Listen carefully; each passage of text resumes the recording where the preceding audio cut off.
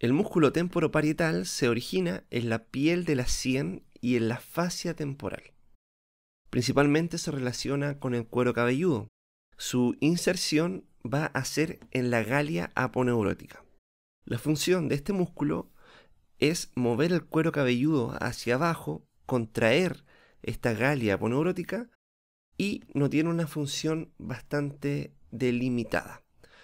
La inervación va a corresponder por el nervio facial, que es el séptimo par craneal, y si recordamos, va a denominarse junto con el occipito frontal en un conjunto llamado músculos epicranianos.